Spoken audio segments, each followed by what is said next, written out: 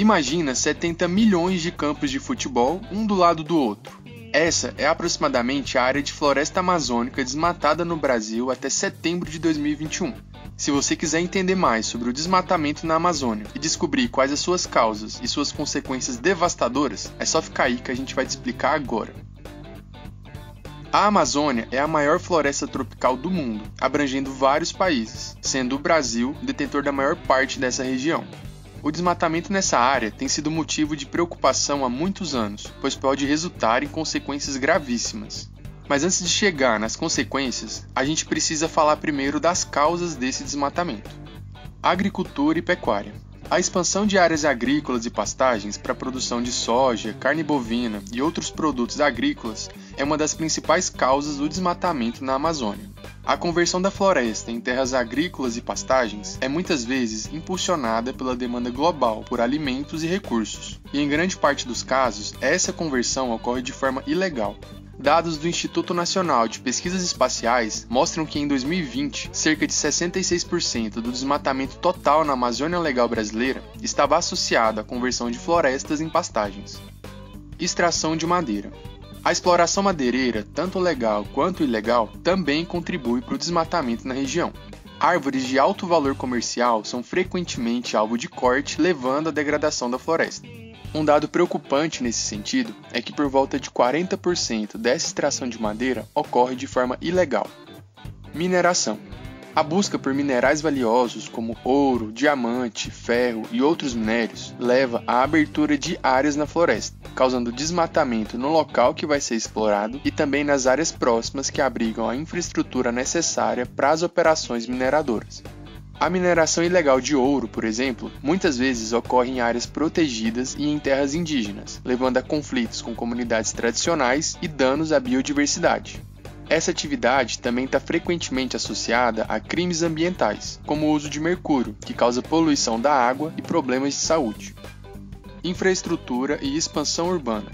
A construção de estradas, loteamentos, represas, barragens e outras estruturas nesse sentido muitas vezes resulta na fragmentação da floresta e no acesso a áreas anteriormente inexploradas. Estruturas como estradas, por exemplo, facilitam o acesso a regiões de floresta preservada. Isso estimula que cada vez mais pessoas se desloquem para essas áreas para realizarem atividades de seu interesse, o que acaba levando à retirada de vegetação e contribuindo com o desmatamento. Incêndios florestais. Muitas vezes são intencionais, ilegais e realizados para limpar uma área que vai receber pecuária ou agricultura extensiva. Embora a maioria dos incêndios na Amazônia seja resultado da ação humana, também pode haver causas naturais como os raios, especialmente durante períodos secos. Fragilidade institucional. A falta de fiscalização inadequada e a corrupção em algumas áreas também contribuem para o desmatamento ilegal e a exploração inadequada dos recursos naturais, já que pode reduzir a quantidade de verbas destinadas à elaboração e implementação de medidas de combate ao desmatamento. Todos esses fatores apresentados são os principais responsáveis pelo desmatamento na Amazônia. Desmatamento esse que gera várias consequências muito graves, sendo que as principais são as seguintes: a perda da biodiversidade.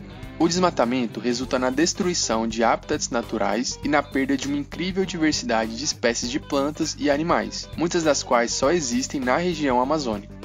A emissão de gases de efeito estufa. O desmatamento, principalmente por meio de incêndios florestais, libera grandes quantidades de carbono armazenado nas árvores, contribuindo significativamente para as emissões globais de gases de efeito estufa. Isso intensifica o aquecimento global e as mudanças climáticas. Alterações nos padrões de precipitação. A Amazônia desempenha um papel crucial na regulação das chuvas. O desmatamento pode alterar os padrões climáticos tanto aqui no Brasil quanto em outras regiões do planeta, afetando a distribuição de chuvas nesses locais.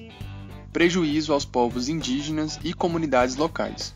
Muitas comunidades indígenas e locais dependem da floresta para subsistência, cultura e identidade. O desmatamento pode resultar em conflitos de terra, perdas de recurso e deslocamento dessas comunidades desertificação e degradação do solo.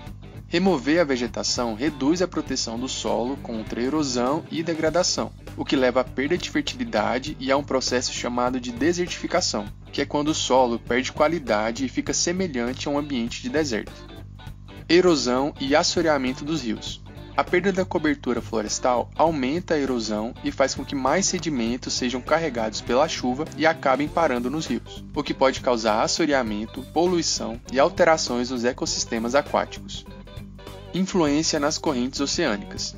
A Amazônia influencia até mesmo a circulação de correntes oceânicas, e seu desmatamento pode afetar os padrões de circulação marinha, o que causa prejuízos para os ecossistemas marinhos e ainda pode alterar as condições climáticas globais.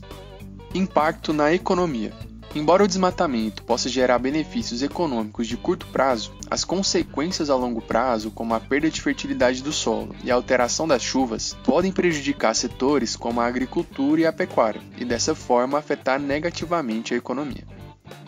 Se esse vídeo te ajudou de alguma forma, deixa seu like e compartilha para que ele também ajude outras pessoas. Além disso, deixe aí nos comentários sugestões de temas que vocês gostariam para os próximos vídeos. E não esquece de se inscrever no canal e ativar o sininho para que o YouTube te avise quando a gente postar um vídeo novo.